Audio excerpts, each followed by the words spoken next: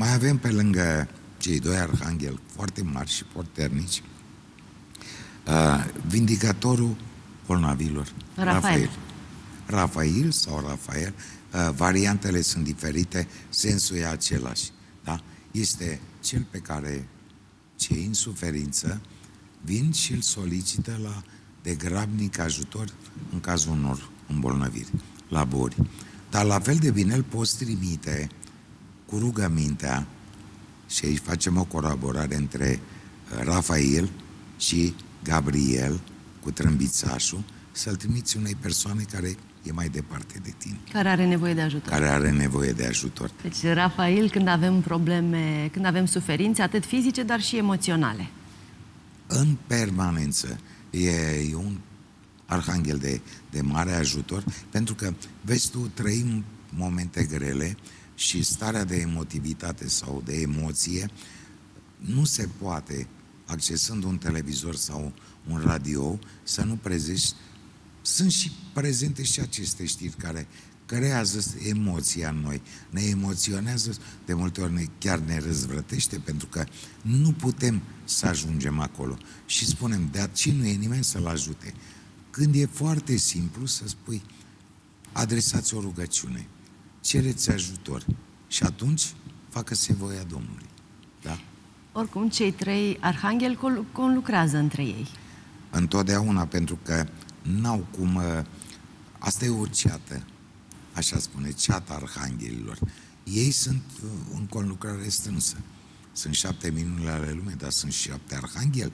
Planetari. Fantastic de puternic. Pentru că mai sunt și ajutoare de arhangheli care au primit ulterior, prin faptele lor, prin lucrurile bune care le-au făcut, titulatura de arhanghel, adică de păzitor al tronului divinității, cel care nu lasă să se cutremure tronul. Pentru că, așa cum spune, grădina lui Dumnezeu e mare și mulți au sărit gardul, ca să nu le spun cum. Și uite, ajungem la arhanghelul Uriel, sau Uriel, cum spune Pe ei. care îl avem și în E- religia noastră. El e cel care pedepsește aici, nu mai, nu mai vine. El vine ca cel care a fost oropsit pe nedrept, care a primit oprobiu public. Și, în general, e foarte ușor să arunci cu vorbe grele și să defăimezi, să blamezi un om. Și atunci, Uriel, care de multe ori vine pe nepusă în masă, nu prea așteaptă să-l chem tu. Vine și ne taxează? Pentru că el uh, e informat de ceilalți doi. Vezi, cu tare a primit nu știu ce lucru neplăcut. Și atunci vine și să te ferească Dumnezeu de forța divină, că Dumnezeu lucrează prin, prin sfinți și prin arhanghel și prin toți. Și se mai spune sub formă de glumă, dar are un înțeles, un tâlc. Până la Dumnezeu Te mănâncă sfinții. te mănâncă sfinții. Te mănâncă pentru că dacă tu ești unul care distrugi un om, care îi faci rău, căruia nu știi cum să-i aduci prejudicii, păi atunci Uriel cum să te ierte? Da? Te-a luat, te-a scuturat și îți dă exact ceea ce îți dorești, adică ceea ce nu-ți dorești tu, dar îi dorește altuia. Și atunci te ferească Dumnezeu, știi că mai sunt și oameni răutăcioși care, chiar dacă ei spus, ei dat o laudă, să ai urat ceva de sănătate, mulțumesc să-ți dea Dumnezeu la fel ce mi zis tu mie. El din start e sceptic, e neîncrezător, el vede dușmanii în toți și automat. Dar tu dacă e, te simți cu sufletul curat și pur, te buvnește râsul când vezi un neavenit de genul ăsta. Oricum, întotdeauna suportăm consecințele acțiunilor noastre. Întotdeauna asta e legea Universului care n-ai ce să-i faci, n-ai, n-ai cum să o schimbi. Da? Vine și legea talionului. Dar uite, talionul este Uriel. Și nu te-a iertat când te-a prins la înghesuială, mai pe românește, ți-a tras-o să ții minte numele Tatălui, al Fiului și al Sfântului Duh. Luăm o scurtă pauză de publicitate și ne întoarcem uh, la această discuție. Rămâneți alături de noi, revenim în câteva momente.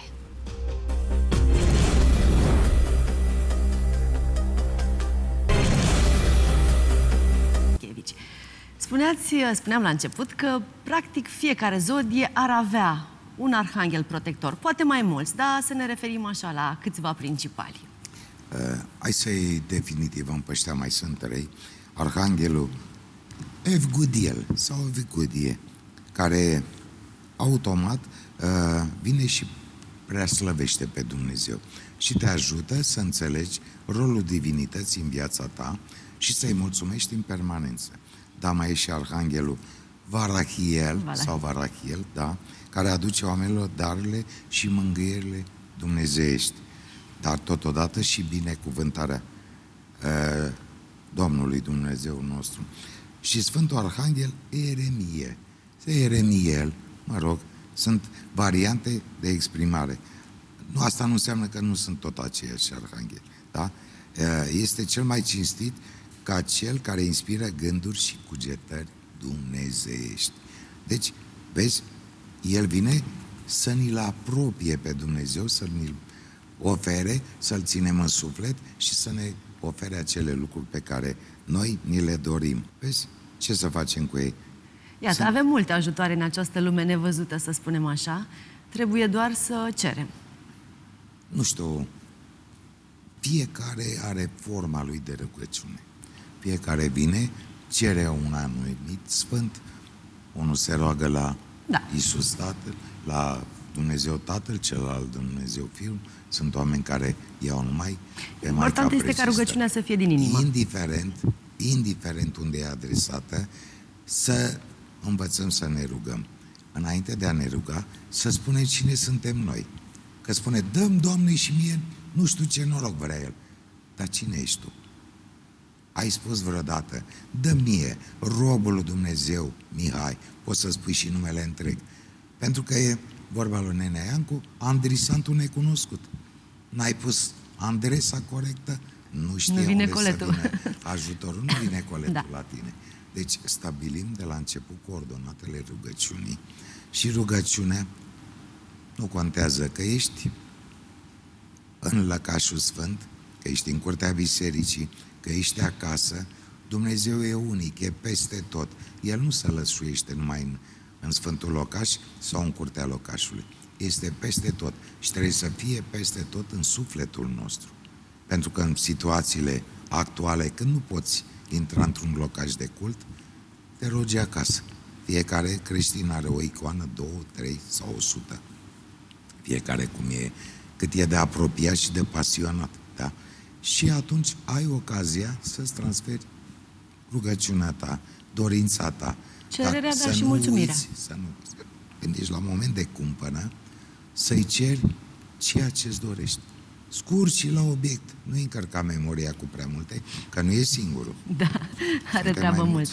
Da? Hai să vedem acum puțin uh, pentru fiecare zodie, cam care ar fi arhanghelii protectori. Păi, dacă ar fi să, să luăm acum, după titulatura asta, că sunt numai șapte arhangheli de bază, îi luăm pe ăștia șapte, dar sunt mult mai mulți. Da, ei pot să fie și 15, pot ajunge și la 40, dar arhanghelii care vin să protejeze zodiile, că vezi tu, uh, foarte mulți vor să, nu știu, să zică că sunt acei oameni care își doresc neapărat protecția divină. Protecția asta divină vine de la orice arhanghel pentru orice zodie. Toată panoplia de arhangheli, toți sunt benefici. Dar ei sunt benefici pentru zodia voastră în funcție de situațiile în care sunteți în momentul respectiv, ce nevoie, ce ajutor aveți. Sunteți, să spunem, o fecioară, cu toate că ăștia sunt niște mintoși, sunt ordonați. Și ei sunt în pragul unui examen. Și atunci, unde să apeleze? Ce să caute? Să vină să protejeze? Păi la ce să mă protejez? La necunoașterea mea, că n-am avut timp să învăț, sau am nevoie de cineva care să-mi lumineze mintea, să-mi deschidă calea și să intrăm pe făgașul celălalt. Că dacă nu, nu știu să leg două cuvinte și nu le pot pune pe hârtie... Să, să oferim vedem. și alte perspective, să... Nu știu, sunt, uh, sunt niște lucruri interesante. Uite, pentru Berbec zice că el e protejat de arhanghelul curajului, pentru că e un temerar, da? Malachidael. E un arhanghel fantastic de puternic, care oferă curaj tuturor berbecilor în situații de cumpănă sau în alte situații. Dar uh, iar ne întoarcem la Mihail, pentru că Arhanghelul Mihail vă poate ajuta să transcedeți orice limitări mentale și emoționale. Și iară vine și suplinește munca unui alt arhanghel. Mergem la Taur, nativul din Taur, care trebuie să învețe răbdare. Așa. Și atunci uh, luăm Asmodael, alt arhanghel care, sunt convins, și pentru mine prima oară când le-am citit, nu m-am acomodat cu numele, pentru că nu sunt frecvent folosite.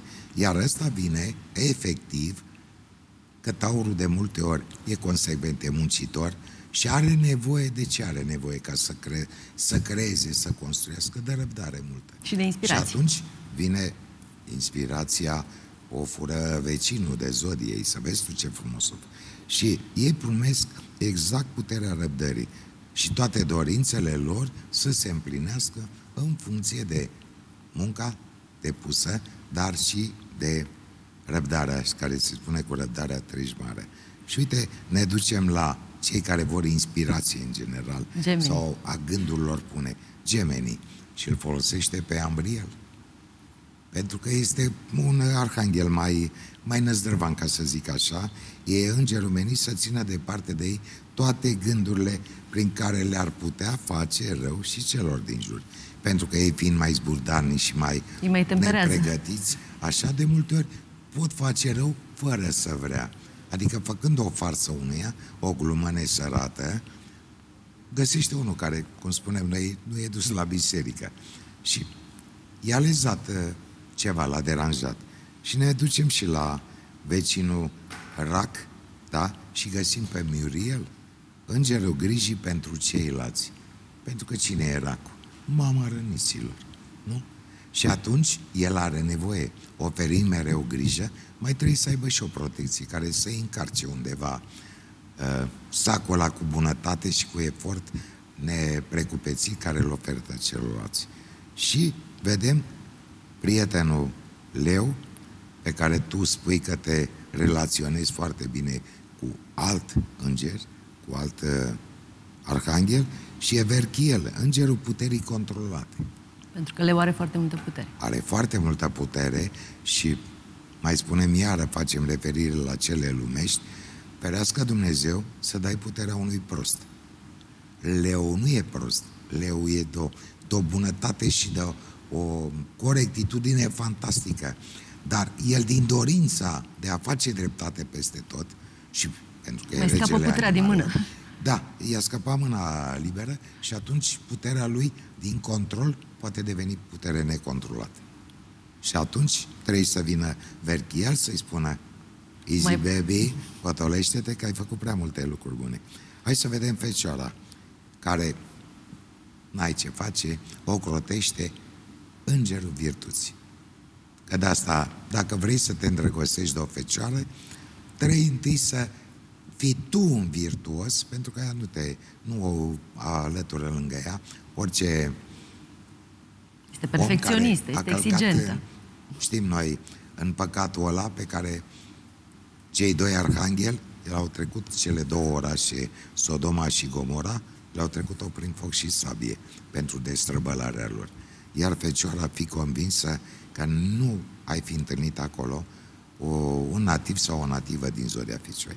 Și atunci vine Hamaliel, îngerul virtuții, care vine și apară că îi oferă virtute acestei native sau acestui nativ, dar o ajută să înțeleagă că, în general, oamenii au nevoie și de virtute pentru a reuși în viață, pentru a putea să se impună.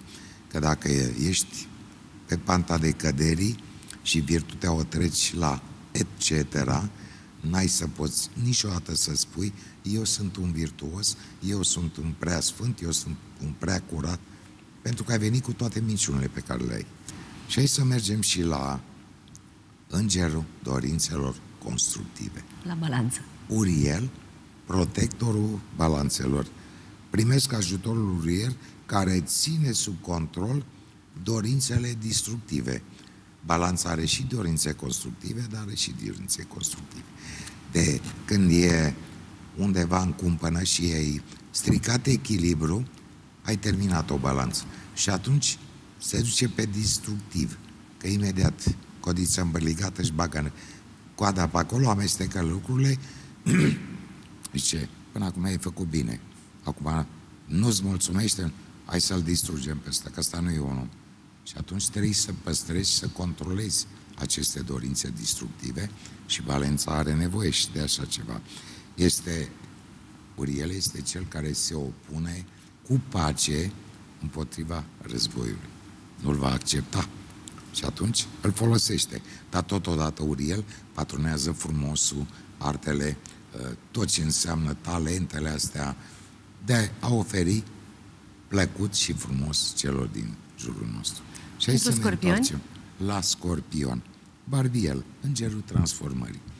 Regele tenebrelor, scorpionul, cel care nu știe ce ascunde, ce, de ce e interesat și tot ce vrea, înțelegi? Dar este și o zodie a compasiunii. Este cel care întotdeauna când te vede, și Fecioara are această compasiune, dar trecând pe un grad mai sus, automat scorpionul are mult mai multă compasiune. Deși este, este un vulcan în interior. E vulcanic, dar este și cel care trebuie să controleze și să stăpânească undeva impulsurile astea sexuale. Pentru că el e regele sexualității din tot horosul. Și atunci trebuie să-l mai ții temperat acolo, să facă față acestor impulsuri care de multe ori pot deveni toxice. Depinde cât de evoluat e nativul zodiei sau nativa zodiei respectiv. Și cum își folosește energiile? Energiile, în general, sunt folosite pentru bucuria trupului, da? Dar când Dar e poate fi și energie creatoare. Și pentru bucuria portofelului, latura negativă atunci nu mai e de joc. Și mergem la Săgetător. arcașul nostru care este zodia cu triplă protecție. Este singura zodie triplă. Da? De ce? Pentru că e un animal, da? Inorogul sau calul, așa, călărițul și are și arma. Că deci este, aici a fost o Are o protecție mai mare? Are o protecție triplă de la divinitate. Este mesagerul lui Zeus. Este cel care trebuie să îndrepte lucrurile al lui adevărul, unui adevăr pur. Și de aceea când scapă săgeata, aia acolo nu mai merge care săgeata aia s-a îmbătat și merge așa ocolite și te-a, te eschivat. S-a dus la fix. Și atunci uh, îl aduce pe Adnachiel, care este îngerul puterii iubirii. Pentru că ei sunt niște iubăreți, ca să le spunem pe, pe românești. Și plimbăreți. Plimbăreți, iubăreți, doritori de nou. De ce? Nu din uh, frivolitate, din dorința de a cunoaște. De a, Sunt aventurieri. A, și aventurieri un pic. Nu, în sensul bun de a da, cunoaște. să cunoască. Ei vor să vadă tipologii de oameni. Dar de multe ori pot să mai o ia și pe panta greșită și sunt cei care, când sunt urecheați, știi de ce? Pentru că ei sunt niște oameni cu prestanță, sunt nați, frumoși, prezentabili. Ies repede în uh, evidență. Și având senzația, sunt și foarte mulți, că ei sunt cei mai deștepți. Adică merg pe preceptele ziditorul. Sunt cel mai deștept, sunt cel mai frumos. Îmi conduc viața mea și pe altora. Dumnezeu când le-a dat-o, le-a dat-o lor. Dar ei n-au înțeles-o. Și au crezut că ei sunt cei mai deștepți prin nativitate. Nu pentru că Dumnezeu le oferă aceasta. Și când vede Dumnezeu că ăsta s-a infatuat și a luat nasul Mai la trimite purtare, un arhanghel. Dar ce îl scutură? Dar știi cum îl scutură? Practic ia toate puterile astea extra pe care le are și îl face un muritor de rând care nu-și mai găsește Se și spune că atunci când nu-ți folosești corect puterea, ți se ia. E regulă. Și mergem la Haniel, îngerul revelării divinității. Pentru Capricorn. Capricornul. Cine poate, eu sunt foarte credincios, să știi că marii prelați, cei mai mari prelați, sunt în zodia Capricornului. Pentru că ei au o legătură cu Dumnezeu neștiută de muritorul de rând. El are o înțelegere tacită cu el, iar Capricornii pot primi puterea de a percepe divinul în orice situație ți află. Și mai avem uh, pe Gabriel, care vine angelul adevărului și știm despre el, protejează zodia vărsător și ultima zodie, Barachiel, îngerul credinței, pentru nativii din zodia pești sau zodia credinței, că ei sunt nihil sine dio. El nu poți să-i spui cu tare sau vai face. Dacă Dumnezeu vrea, Dumnezeu îmi dă. Chiar dacă nu am Deci auzit. are o încredere nebună. Da? Chiar dacă nu am auzit